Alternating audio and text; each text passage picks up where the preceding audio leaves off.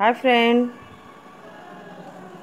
आज आपके साथ शेयर करेंगे चने की दाल की भपौरी इसे बनाना बहुत ही ईजी है और खाने में बहुत ही टेस्टी लग रही, लगती है। ये देख सकते हैं।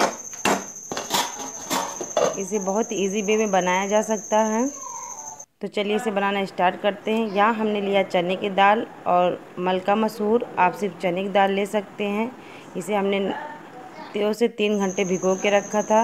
अब इसे मिक्सर में हमने पीस लिया बारीक। यहाँ ऐड करेंगे धनिया, प्याज, हरी मिर्च, ज़ीरा। इन सबको हम इस दाल में ऐड कर देंगे। इन्हें हाथों की हेल्प से अच्छे से मिक्स कर लेंगे।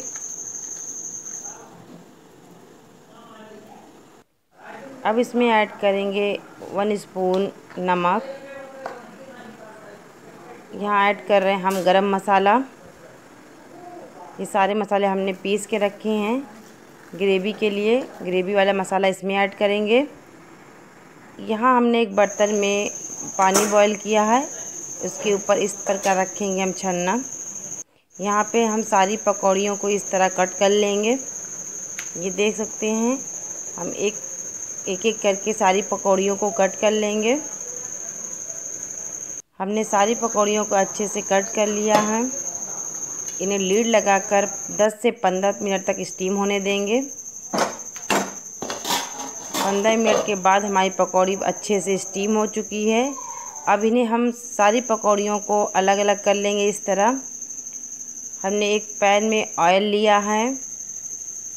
अब इन पकौड़ियों को सैलो फ्राई करेंगे। दोनों साइड से पलट पलट कर गोल्डन फ्राई करेंगे। चलिए हम करते हैं ग्रेवी। यहाँ हमने लिया प्याज, लहसुन, अदरक, दालचीनी, लकड़ी, ज़ीरा, काली मिर्च, बड़ी इलायची, लौंग, छोटी इलायची। इन सबको हम मिक्सर जार में पीस लेंगे। ये देखिए, इन सब का बना लिए पेस्ट।